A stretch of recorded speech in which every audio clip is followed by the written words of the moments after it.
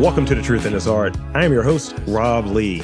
And today I have the privilege of being in conversation with an illustrator, concept designer, cartoonist, and animator. Born in Tupelo, Mississippi, and raised in Clarksdale, Mississippi, he's a lifelong love of visual Afrofuturism, pulp entertainment, and action movies. Please welcome Tim Fielder. Welcome to the podcast.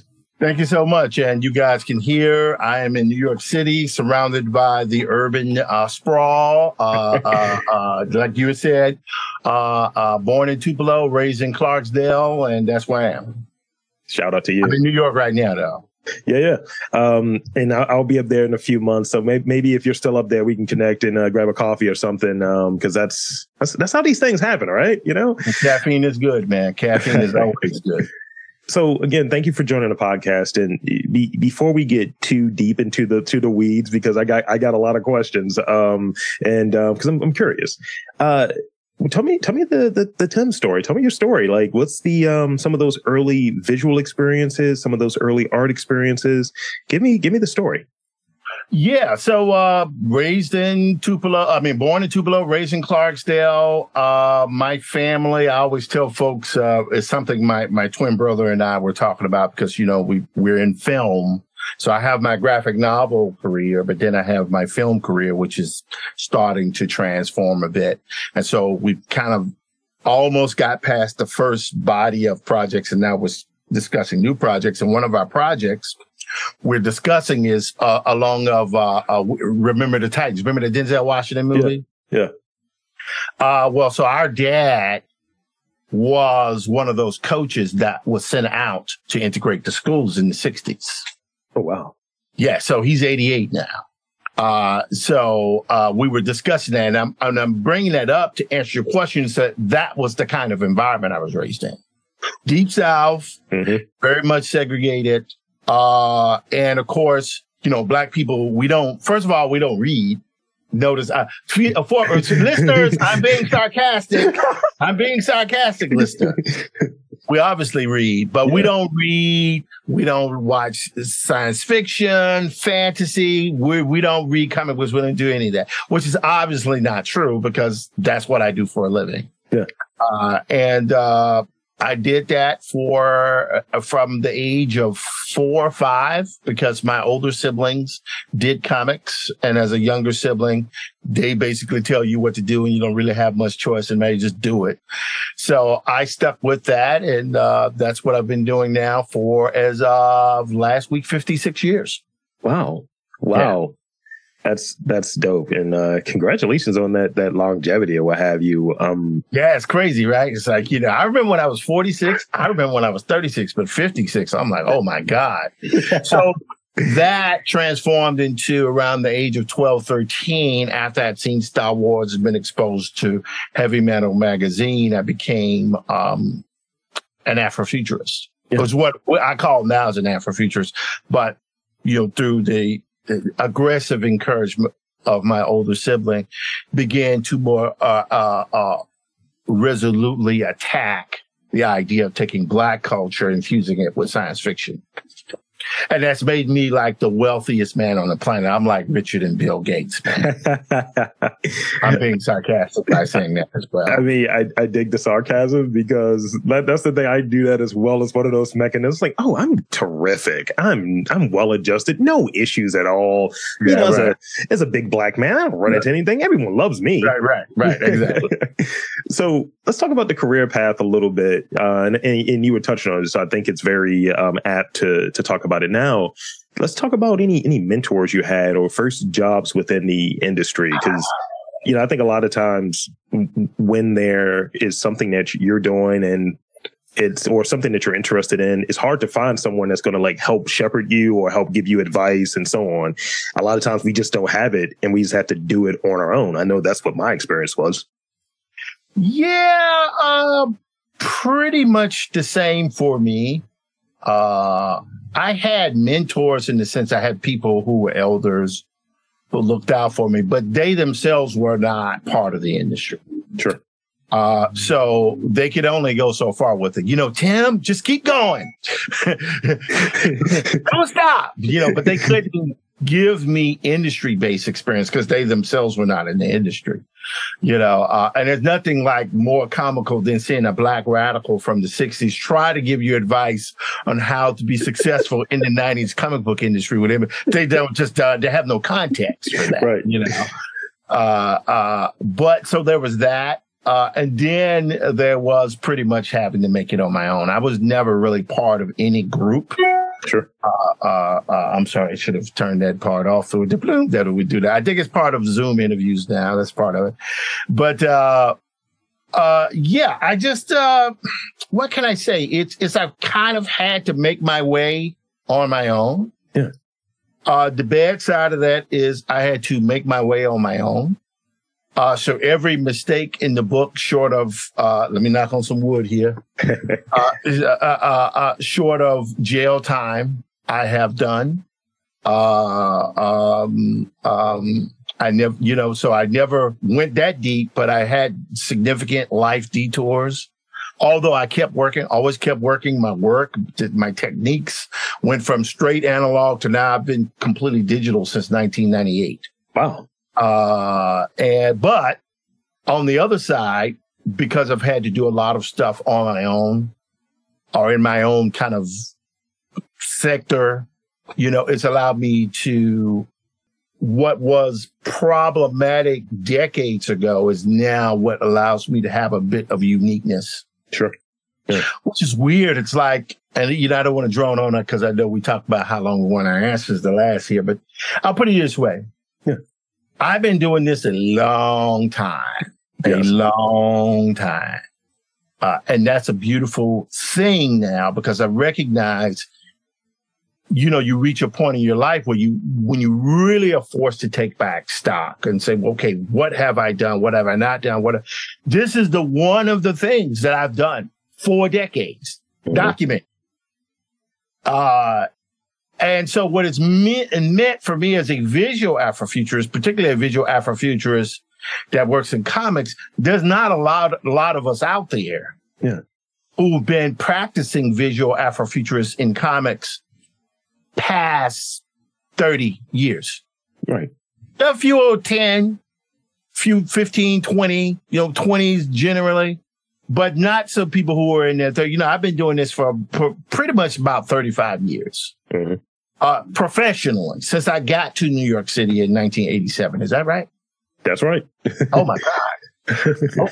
Ooh. Yeah, I didn't mean to do that. I meant to say, yeah, I've just been doing it for like almost 30 years. It's like, you're at 35, 36, 37 years, fool. You almost at 40 years. I'm it like, just turns to 40. Oh my God. Cause you know, you round it off and I'm Yes. like, oh my God. So yeah, a long time. But what it means is that I'm, I understand my context. I'm not the best out there. I'm, I'm very good. I, I acknowledge that, but it means that as long as I do my job from this point moving forward, I won't be forgotten. And that's everything to me. I love that. I love hearing that. Um, so I want to, I want to d- dive back in a little bit since we've been talking about Afrofuturism and such. I want to ask you about like, and, and, and I know it's rigid or people have different definitions of it, but how would you define Afrofuturism? And then I have that second part. That's a nice segue from that to the next question. So I'll let you start off there with the, uh, your definition or your, your thoughts around Afrofuturism. Well, I'll just preface it by saying it means a lot of different things to a lot of people. I have had to learn to accept that for me, because I'm in my lane, it's always been science fiction, technology, black culture, dealing and jumbled together with race politics. That's where you get your drama from, and you can tell stories within that context. But that means com- that Afrofuturism means something completely different from those who are more philosophical about it, uh, who are more ethereal about it. It's, it doesn't mean it's not that on the nose. My stuff is pretty on the nose. You're going to basically see black people in spaceships. That's what you're going to see. Uh, and I used to like, well, maybe that's not expensive enough. I'm like, man, whatever. I draw black people in spaceships. I'm going to put them in there. They're going to look good when they're doing it. Right. That's what I do. Uh, so that's what Afrofuturism is to me. Okay.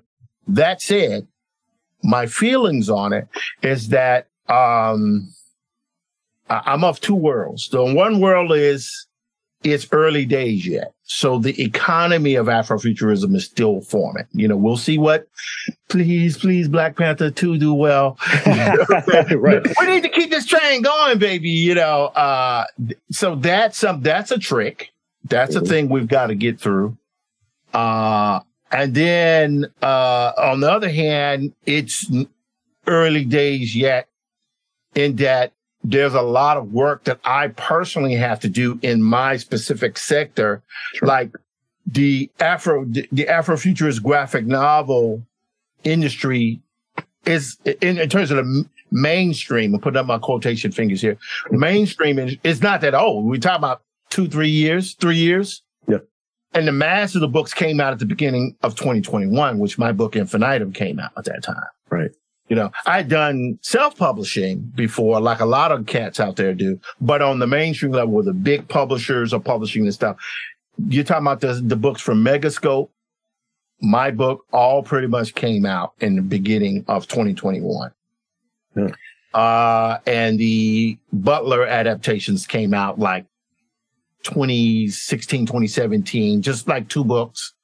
Uh, so it's not a lot of content out there. So part of what I'm having to do is to, whether I want to or not, I have to not just promote myself.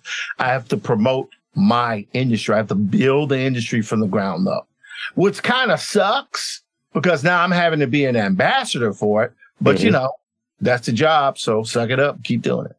Yeah, and and I- and I and I want to ask about like how and, and kind of keying in on that. How you feel about how it's been presented in like mass media? There have been shows that have come out. You know, I think of Lovecraft Country. Obviously, you touched on Black Panther and Black Panther Two coming soon, and a few other things. But it's very, very minimal. So, how do you feel like it's been like represented in contemporary mass media? Are you feeling satisfied in what's come out? Are you feeling like I need more of this? There's more stories to tell, namely with like Lovecraft Country, like getting that one season and then kind of peace out. Tell me about that. Well, again, it's early days. It's so early. We're this will be a completely different conversation that people probably separate from myself. You know, if I'm even still alive 20 years from now, will be having uh uh 20 years from now because it'll just be a different world. You know, hopefully we won't be walking around in a radioactive wasteland wearing leather or driving up souped up cars in desert, but if that's not the case, you know, it'll be a scenario in which we uh, have been able to discuss 20 years of maturity. Got it. Yeah. I'm hoping that's the case. That's it. um, you know, Lovecraft Country, I, I've watched it.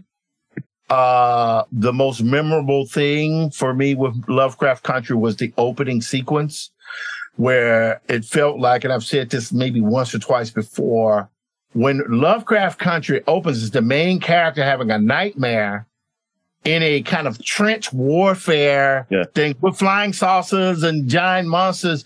And I screamed because I was like, oh my God, they get it. They may not last longer than a year.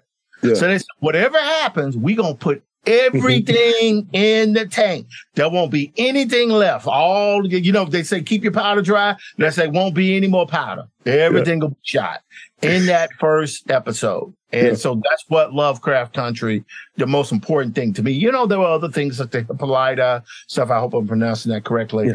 Stuff that was important, not just for the character, but the performer uh, uh, with the, uh, my homegirl. Uh, uh, you know, she don't know. She knows my brother. uh, uh, she was in the was it King Richard? Yeah. Uh, Ellis. Yeah, she's Yeah. from Mississippi. I'm from Mississippi too. So you know, shout out to her. But uh, you know, it's just one of those things where there's we haven't even begun to crack the surface hmm of the amount of stories and content that can be done Right. And there are people who operate in different ways. Like, you know, the, well, this person here is in fine art. This person here is in comics. This person here is in film. But then you got this person here is slow as molasses. This person here, they'll squirt it out their butthole in a day, right? Those type of things all have to be taken into consideration. For me, I'm a product of bande dessinée, of, of French, Franco-Belgian comics. Yeah. That mixed with the Kirby S, Michael Golden S type stuff and heavy metal, which is Franco-Belgian, you know, at least what's an offshoot of. Sure. And uh, so I'm not trying to aspire to do a monthly comic. I don't want to do a monthly comic. What do I want to do a monthly comic for? That's that's insanity. Yeah. For me. Yes. I want to do one kick butt album per year, just like the Franco Belgians do. Yeah. And make sure it looks great. The story is tight. Uh, people can relate to it. You do what you got to do. Matty's Rocket 1 is out. That means next year, Matty's Rocket 2 got to come out. And I, for the next however many years, I think I got enough for eight books storyline. Uh, uh, uh, I want, God willing, you know, from you know my mouth to what a God, what I don't know the phrase. uh, I want to be able to see on my shelf, just like you see with the Hergé Tintin books, Mhm. Matty's Rocket 1, 2, 3, 4, 5, 6, 7, 8, 9, 10, 11, 12. I love it. If I can do that, um, then I'll be happy. That's that's that's great. I I like having that as the cadence. Like, you know, right now, and I think you and your brother were talking about it a little bit of how much stuff I'm putting out, and I was like, yeah, I'm riding that wave now. Eventually, it's going to be tapering off to literally weekly, maybe bi-weekly, because it's it's just a thing where you want to put more into it. You want to do other things. You want to change. You want to change how you go about your work as you you as you mature, as you get older, as you're doing other things. And I'm just really riding off of only being 37 right now. But once I get, get older, it's like, oh, I'm done. I got nothing. I got nothing here. Well, I, I'll put it, and I say this a lot: you're gonna die. I'm going to die. We're going to be worm food eventually. As my wife in the background going, "Oh Lord," it's true. It's true. And you had best get to it. Yeah. You had best get to it. Uh, because you can't take it with you. Mhm. You can't take it with you. All you can do, only evidence that you will be here is what you leave behind. So you 100%. got to leave something for people to build on top of constructively or to destroy. So- and I'm trying to build something for people to say, okay, there's this thing. This was a cautionary tale, or this was entertaining, or this made me feel good, or it made me feel bad, but it made me think. If I Mhm. can do that, I'm good.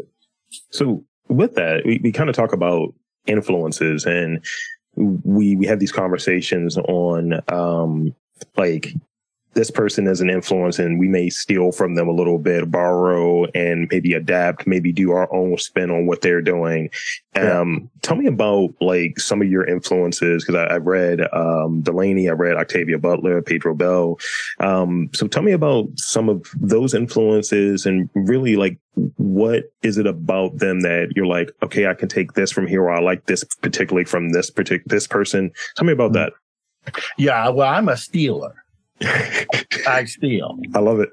uh, uh, and people say, "Oh my God, really?" Yes, I steal. But what you do is you, and I have to tell my students, you steal, then uh, then modify. Mhm. Right. So there's nothing new under the sun. There's it is almost impossible to avoid uh, to avoid influence. So you embrace influence and then you modify.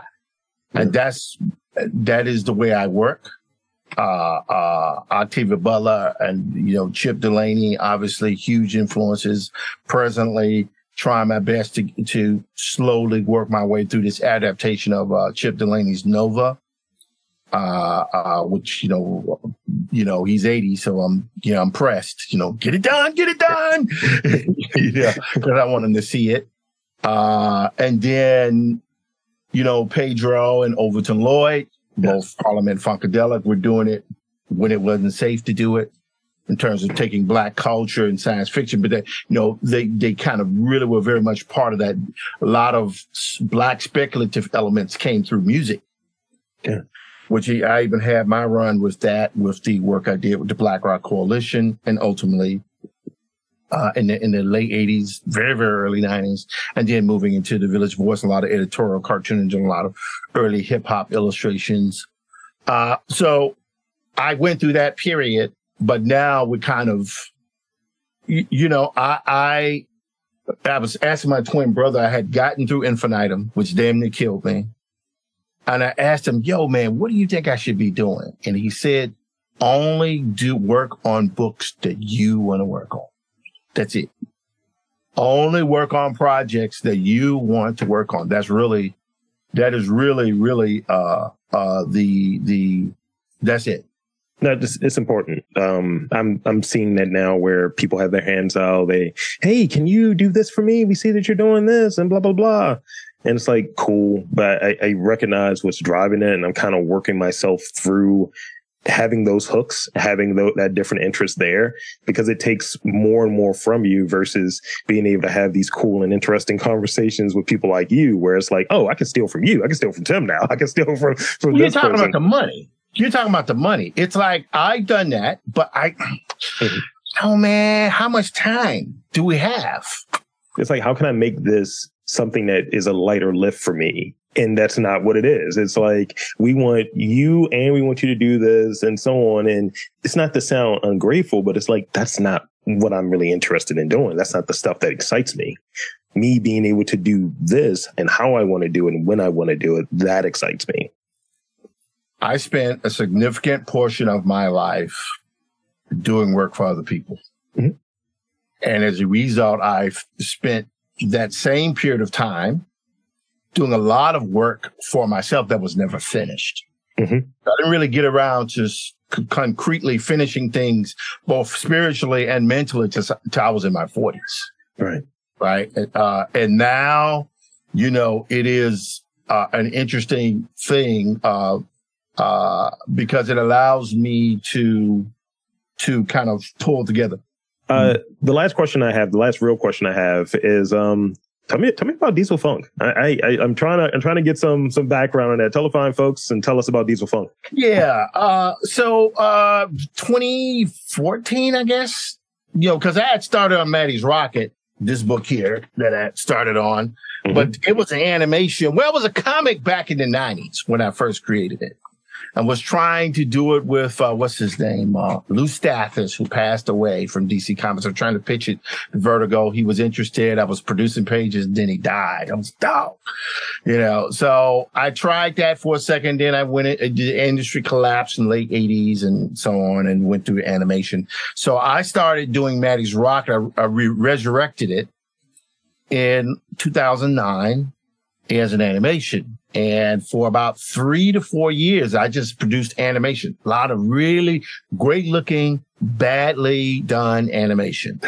right. And I was trying to do it as a web animation. And, you know, that kind of, that kind of world kind of came and went.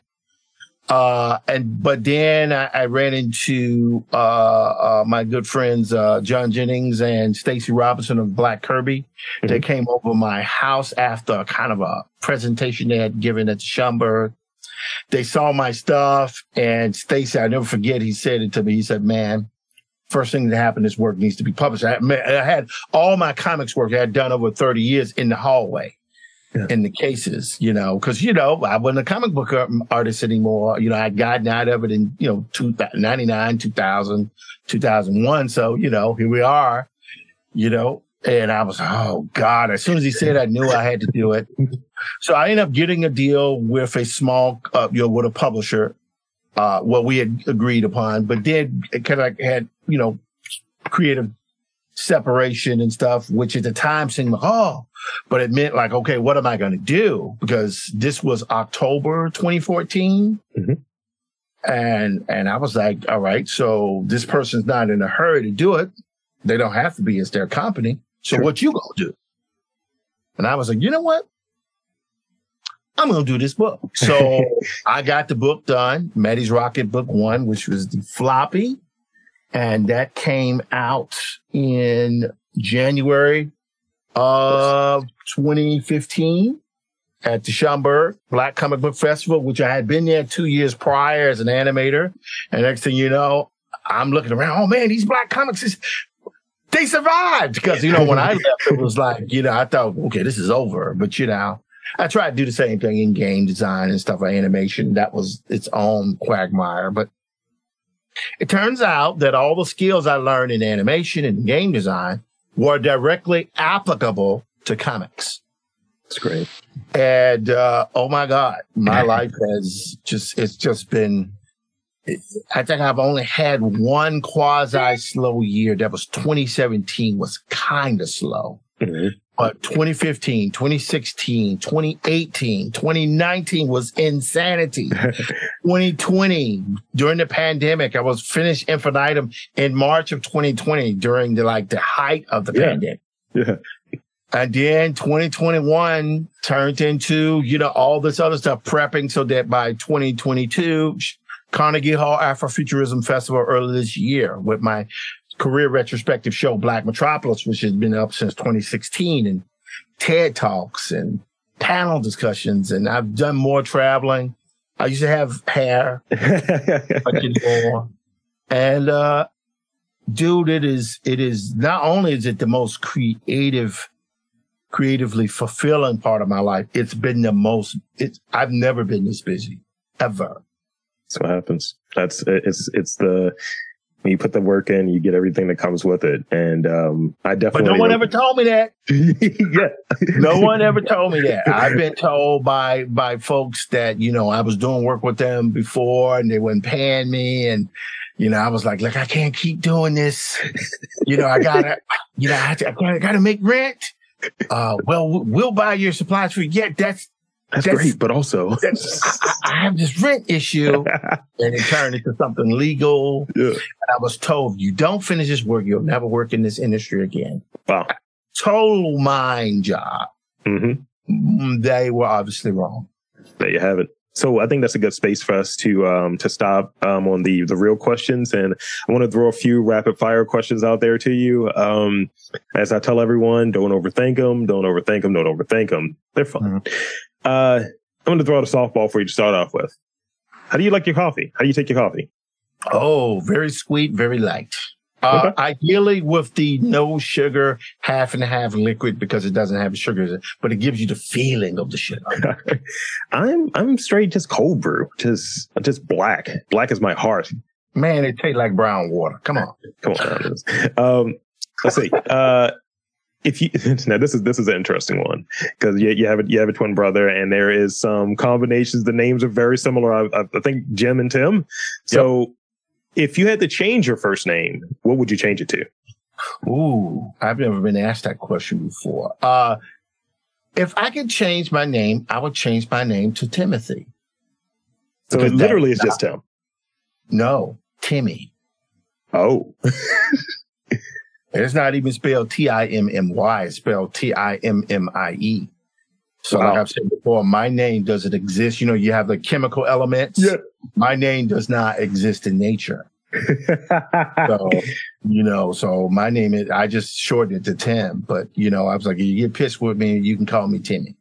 You know, but uh yeah, that's my name. I don't know what my parents would think. It's like, could you just have taken like the five seconds to put the O T H Y on the end of it? But they didn't bother. So I and you know, after a while, you get a certain age, and your parents are still with you. I'm not, you know, it's it's it's been there. It's fine. It, it hadn't held me back this long, so I'll keep. Uh, Just a warning to my children, Joe: do not name your children Timmy. I, I have a um, I'm a junior and I have a brother named Rudy and it was very close to our names being uh, Ralph and something else that just did not work. My mom vetoed those. She was like, "Nah, absolutely not." Let's see. What, in which season are you most productive? Because you you touched on like it's kind of yearly, you know, as far as like being super busy. But some people are very productive in the summer because they like to stay inside. They're like, I'm not going outside. And some people are not productive because they're they're getting it. They're out there doing whatever. That has changed for me. I can't really answer that question. It really depends upon the event. Sure. Like I would certainly tell you, oh, I'm more productive during the summer, but then I just had this crazy book tour and I was at San Diego Comic Con. This has been an insanely busy summer. And now the fall, maybe it'll be a little bit slowed down, you know. But last year, this time, I was in, oh my God, September. I was in the middle of, of prepping for the Carnegie Hall Afrofuturism Festival. And Yeah. it was, it was balls the walls for six months. That didn't end to the last day. My show ended, then I could take a break. All right, fair. Uh, this is the last one, last question I got for you, and I think you know I was sharing with you a little bit earlier about um some of my action movie love, and I saw it as part of your bio. So, what are your three, uh, your top three action movies? Die Hard, one. Uh, Bullitt with Steve McQueen. Nice. And it just gonna sound so weird. The first Matrix is a masterpiece, man. It doesn't sound weird at all. It's, it's freaking Yeah, but the second one and third, you know, it's like in the fourth one, it was like I was waiting for you to say the fourth one. but, but the first one is just I was looking at it recently. I was like, this film, you know, 25 years later, still holds up. It's really, really ama- amazing film. And and I have such a love of films that change. It's like the car chase in Bullitt is the Mhm. blueprint for every action film that features a car chase in it. You know, uh, the Matrix, obviously, that goes without saying. Matrix has has had uh, an incredible influence, but it's like North by Northwest. Mhm. When you look at that movie, you see every action film that's come. It's just North by Northwest, just re- rejiggered. Yeah. And uh, so, yeah, that's why I love action films because they they have the ability to have both the relationships, the drama, and a little kick ass stuff in there too. There you have it. Um, I thank you for, for, for being on this, this podcast. Um, and I want to invite and encourage you to tell the fine folks where to check out your work, website, social media, all of that good stuff. The floor is yours. Okay, so Tim Fielder, uh, you can buy my books here. You can buy this one here, Matty's Rocket Book One. You can go by all bookstores, Walmart, Target. You can order it online, Amazon, and then Infinitum and Afrofuturist Tale. Uh, from HarperCollins. Uh, all of my books can be found because the world we're in now, you can order everything from any store, any online venue. You can even order it overseas. It's pretty incredible. Uh, it is my intention to hopefully, if there are no delays, uh, I think, well, let, let me say the, the intention is by, uh, New York Comic Con, we will have the ebook version of Matty's Rocket Book One out, and we will have, uh, the soft cover out, uh, and ready to rock. Uh, you can go to dieselfunk.com uh, for the web presence. Facebook is Dieselfunk. Uh, Twitter is Dieselfunk. TikTok is Dieselfunk. Instagram is also Dieselfunk. I'm Rob Lee for my guest, Tim Fielder, saying that there is art in and around your neck of the woods. You just got to look for it.